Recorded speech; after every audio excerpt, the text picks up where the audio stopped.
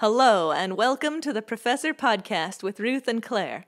Each episode, we talk about a particular topic in the life of a professor. We are tenure track faculty members in the sciences working at a primarily undergraduate university in California.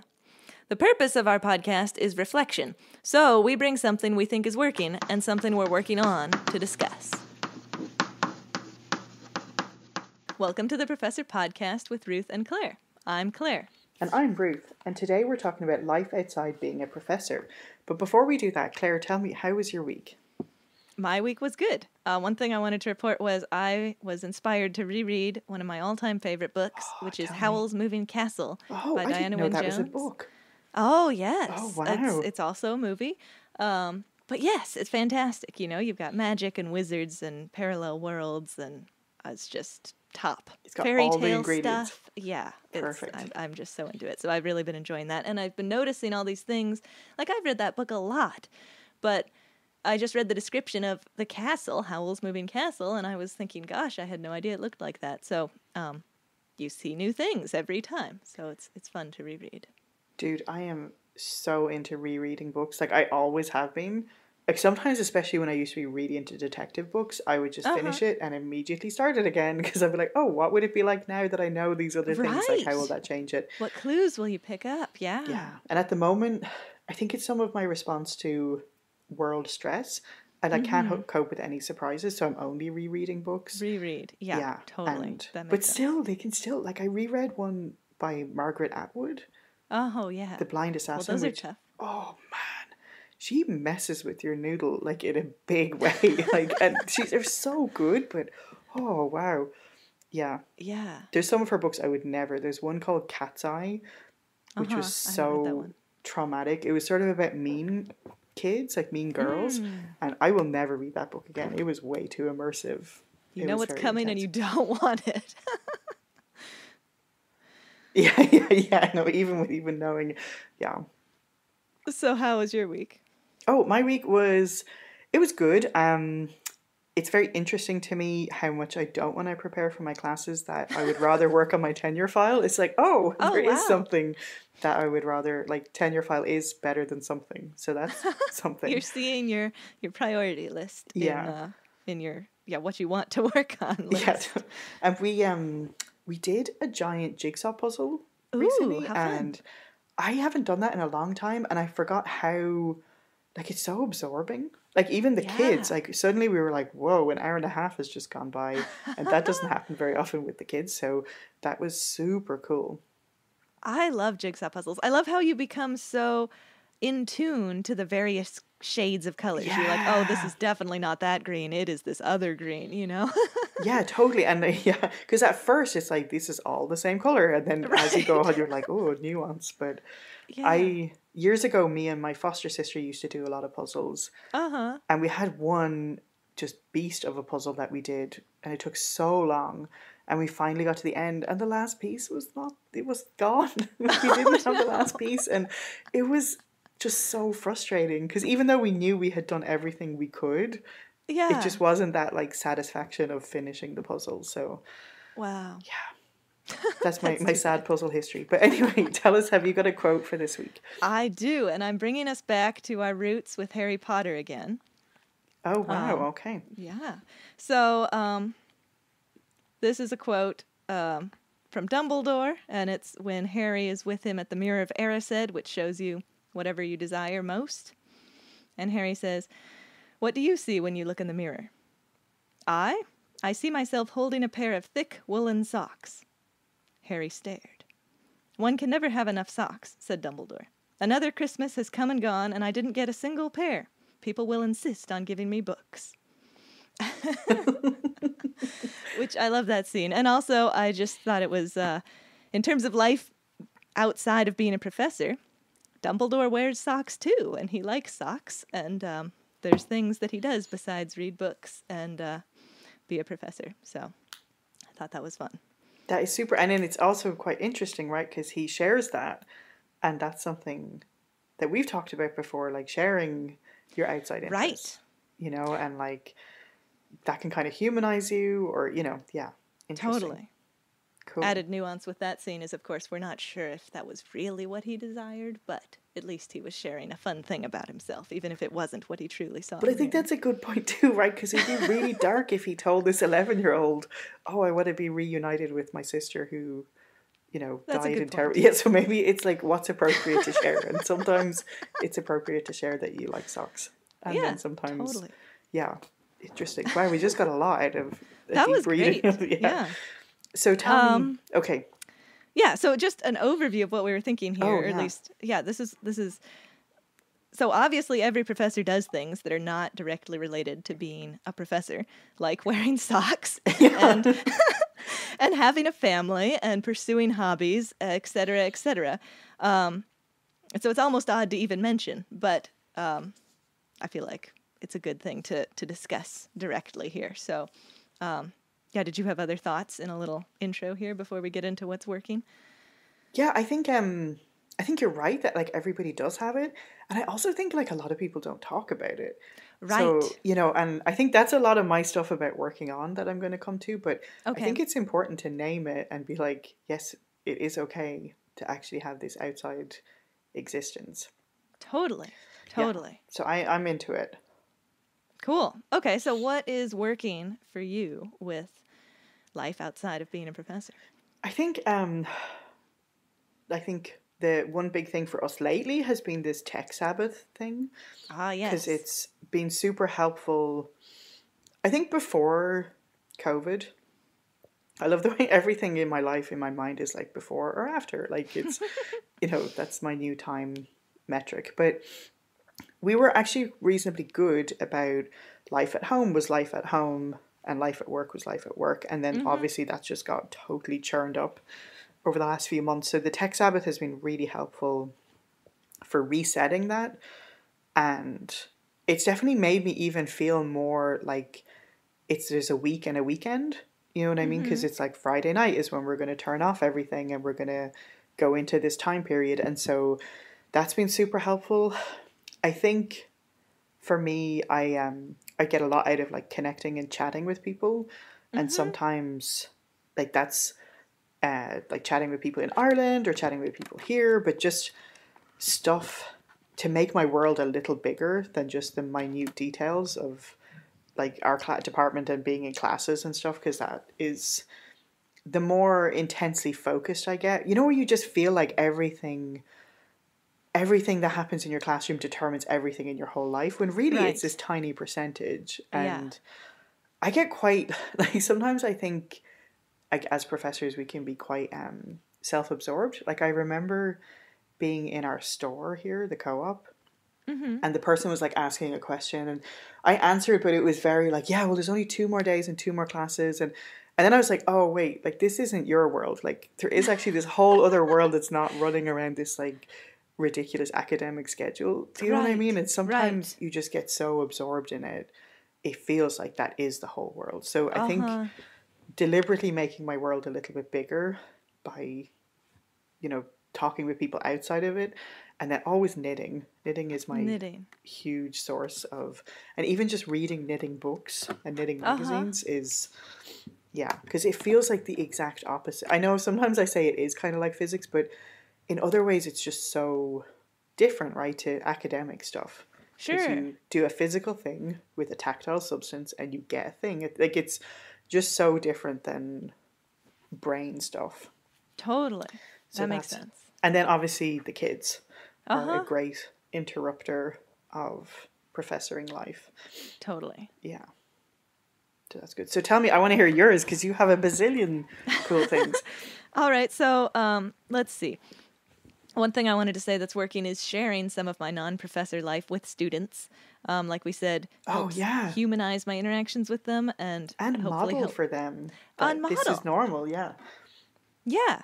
So first of all, hopefully it helps me be less of that scary professor at the front of the room, and also, yeah. So uh, and I I think I mentioned this story one other time on the podcast. I had one student who came to one of my my band's shows and specifically said that he to see a faculty member in a band really helped him think that maybe academia was something he wanted to go into. It didn't mean you had to give up everything else and just be a professor. And um, so that is really an example of uh, why it's uh, yeah I, i'm really excited that i can share that by sharing some of myself with my students Oh yeah.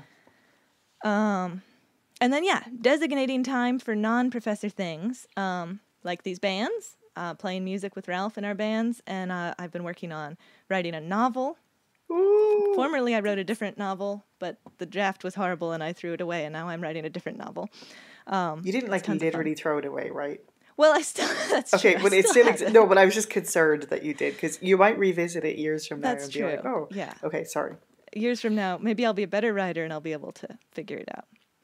Yeah, so work life balance um, to get those things into my life too. And like you, I, I, I found it effective to have really clear this is work time, this is other time, um, you know, moments in the day. Um, and one thing I wanted to add about that is work life balance is kind of a phrase I always thought of as meaning don't let work take over your life and defend non work time. And that's true, but it is a balance the other way too. Um, and like I last week, I kind of went overboard in defending my non work time and didn't do a lot of work things that I really wanted to do, and really had not aligned what I wanted to do with what I was deciding to do. And interestingly, what I wanted to do was this work thing. Um, so anyway, when I gave in and actually did that work thing, I really enjoyed myself, and so I guess I am mentioning that it's also working to remember why I am a professor and that I do enjoy working to do that well.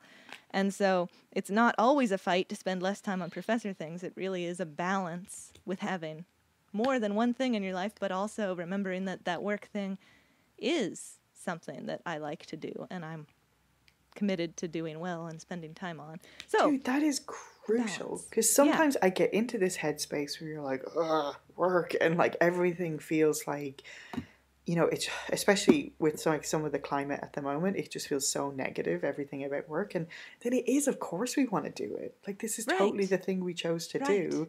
And sometimes it's almost like I don't even remember that. And then when you kind of like step back a little bit and you're like, yeah, I love students, they're great. And totally. Yeah, Yeah. it's really important to kind of hold that too. sometimes I end up feeling like it's just a game of spending the late, less time on it so that I can have my work life balance. But really, it Yeah. is a balance both ways. So, yeah. Yeah, totally. So, what are you working on? Oh, yeah. Yeah. Okay. Well, here, I think hmm, one thing I'm really working on is sort of shame about it. Okay. And I think one thing that I'm very susceptible to is believing what other people say.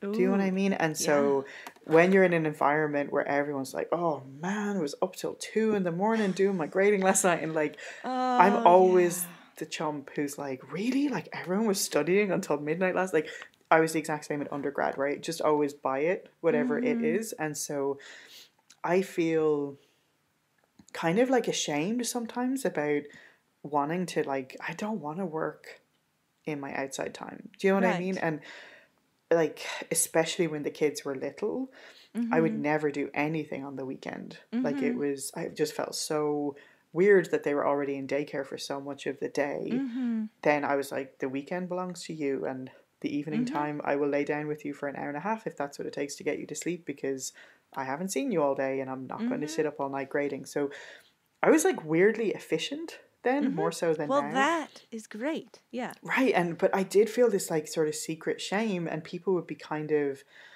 I had a very bizarre interaction with someone in an online group where we were talking, and I said, "Oh, the, one person shared that they were going to start taking one day off a weekend."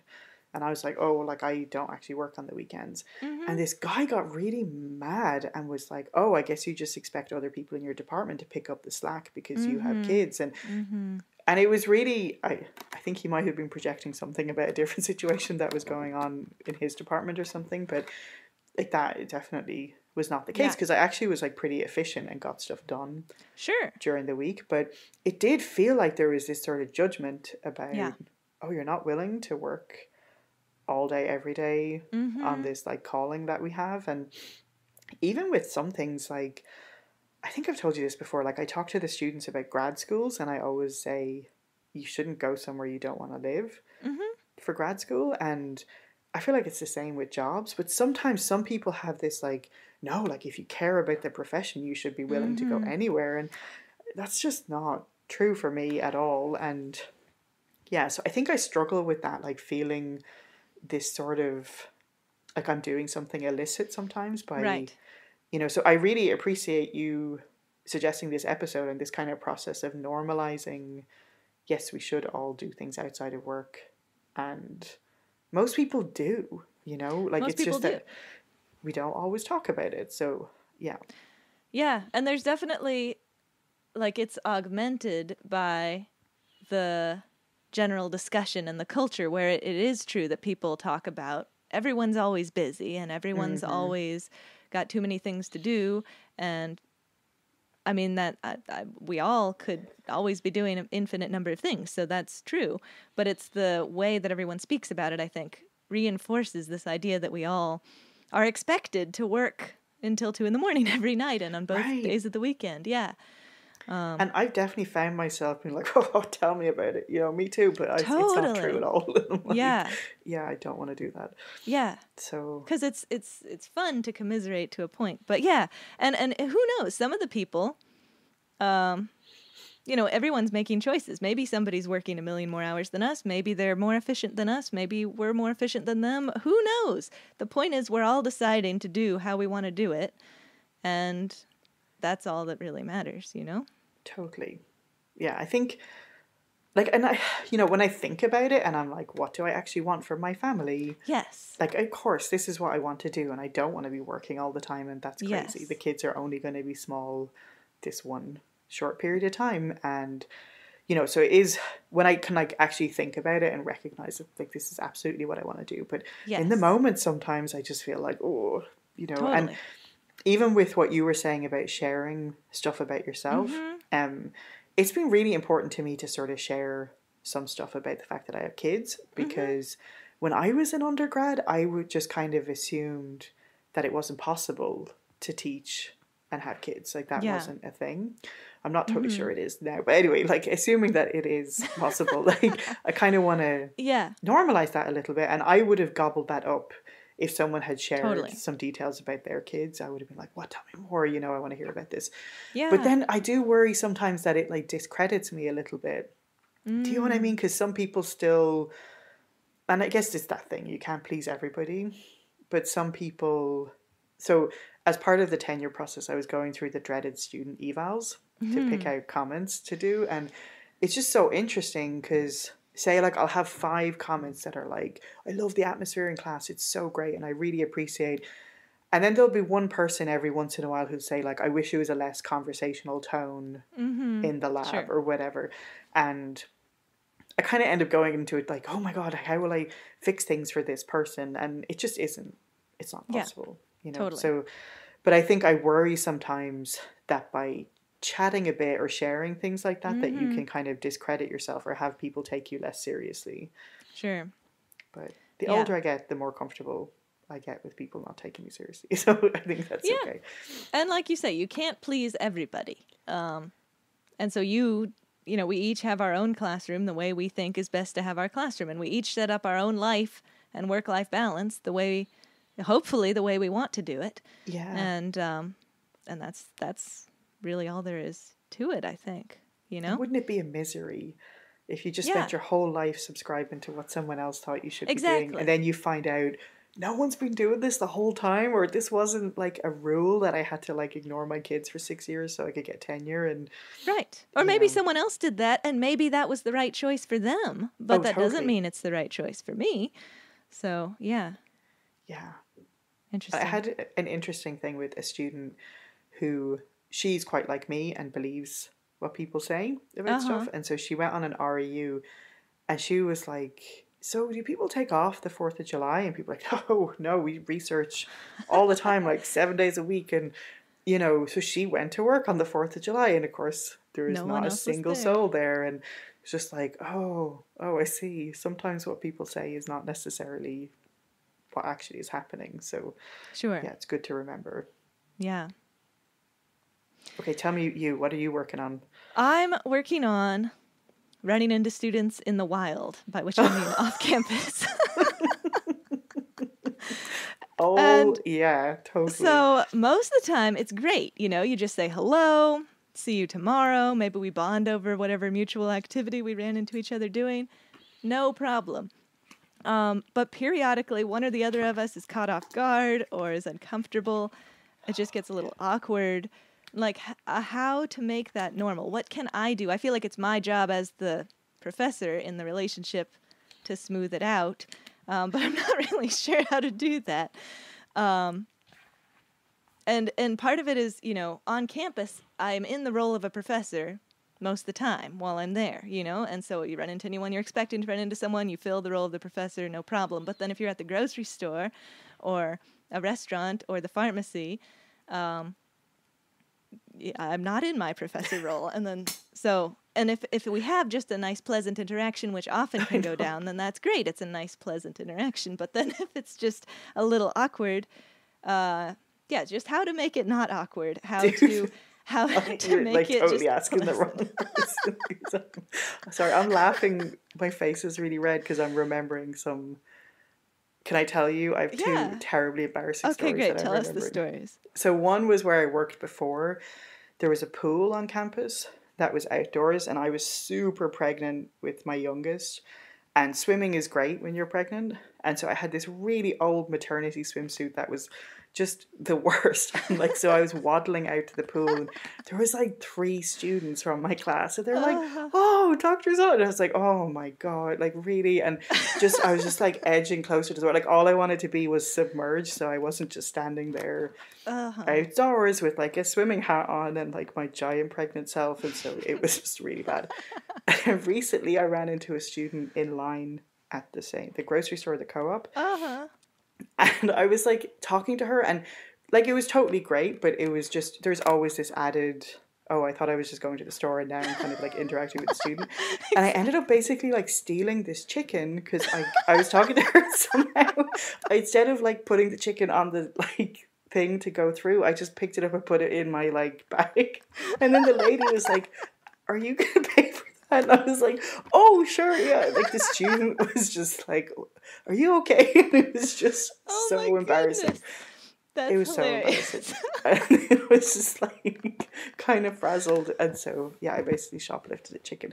Sorry, that's why I've been chortling because I was remembering that terrible oh experience. oh my So- goodness those are great stories well, I'm really glad I don't, you know, because I don't drink and I can't imagine being at a bar and like having a great night out and running into a student. That would be, it would probably be worse than stealing the chicken.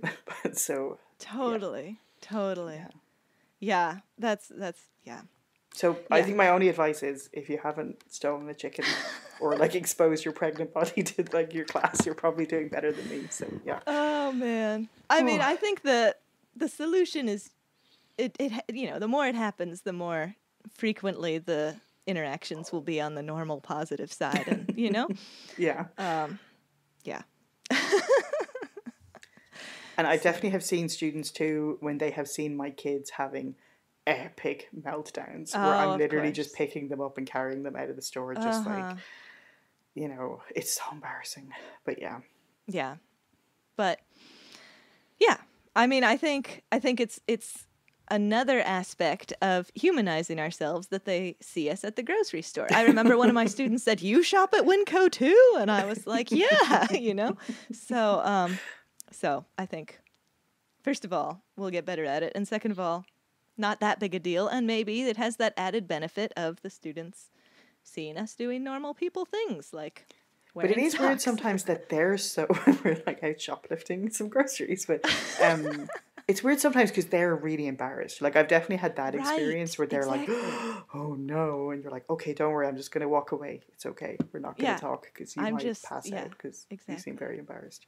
Yeah, Yeah, and so yeah, uh, so I, I I guess that's the main thing I want to work on is on the occasion when the student is uncomfortable. I mean, I want to work on when I'm uncomfortable too.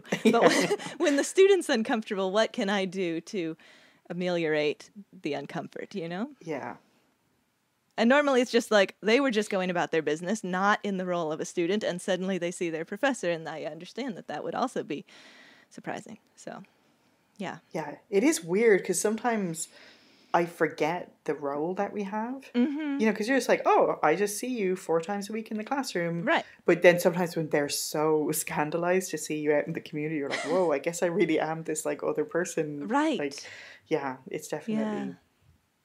interesting. Yeah. Yeah. There's a, one of my colleagues will always say, "Professors are people too." Whenever We he put on our socks. people. Yeah. yeah. Exactly. Yep, yep. Okay, well, yeah. I think um, this is something I think we could revisit over and over again because Totally. it is such a big one. Totally. But yeah, cool. Thanks, Claire.